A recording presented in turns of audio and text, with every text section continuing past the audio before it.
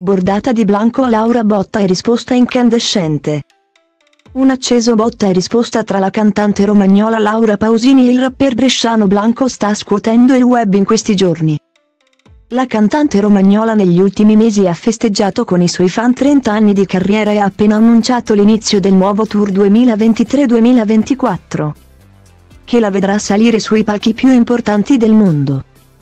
Si tratta di un anno ricco di traguardi personali e lavorativi per l'artista che, durante un'intervista rilasciata a Radio Italia, avrebbe sottolineato le sue perplessità riguardo l'uso massiccio dell'autotune. Devo dirlo, scusate, ma adesso cantano cani e porci. Ci sono nuovi ragazzi che lasceranno il segno. Ma anche altri che dicono cantiamo una canzone e diciamo delle parole. E per me non è il modo giusto perché anche il nostro è un lavoro serio e merita rispetto. Durante l'intervista la cantante ha poi ammesso che sarebbe la stessa figlia Paola a cercare di convincerla ad ascoltare questa musica moderna, mia figlia ad esempio mi ha messo dei pezzi e mi ha detto senti che bella questa qui. Così io le ho detto ma secondo te questo sa cantare? No, perché guarda che qui è tutto autotune.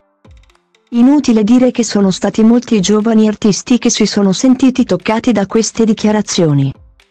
Tra tutti chi ha voluto dire la sua sulla vicenda è stato Blanco, il giovane cantautore, che negli scorsi giorni è stato al centro dei rumors per aver dedicato l'ultima canzone alla sua ex fidanzata. Si è espresso sulle dichiarazioni della Pausini tramite un'intervista rilasciata dal Music Italia. Il cantante, reduce dal successo del suo nuovo album Innamorato, ha così espresso il suo papere sulle dichiarazioni della cantante. Usiamo l'autotune come sfumatura, come un colore più moderno. Quindi devo dire che non sono d'accordo con Laura Pausini. La stimo ma su questa cosa la penso diversamente. Penso che nella trap dove si usa molto l'autotune a volte gli artisti hanno più cose da dire rispetto a chi non lo usa. Magari le cose che canto io con l'autotune possono trasmettere più emozioni di alcuni colleghi che non lo usano. Io, per esempio, ascolto più volentieri Sfera e basta. A me dà qualcosa in più uno Sfera nei suoi testi rispetto alla Pausini. Dalle parole di Blanco è facile intuire come egli non sia in accordo con quanto dichiarato dalla stessa Pausini. Aggiungendo come lui stesso invece preferisca ascoltare canzoni di Sfera e basta anziché quelle della cantante romagnola. Una stoccata, anzi una bordata bella e buona.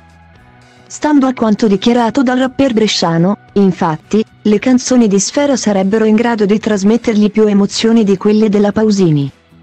Dichiarazioni che hanno aperto un vero e proprio dibattito tra due generazioni e stili musicali differenti, da un lato la storia della musica italiana degli ultimi anni e dall'altro la potenza del nuovo che avanza inarrestabile.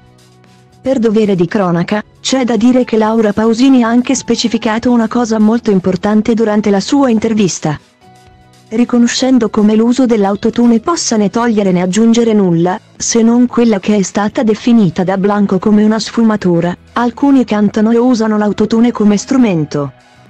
Come suono, non perché non sono intonati, infatti poi li vai a sentire e cantano davvero.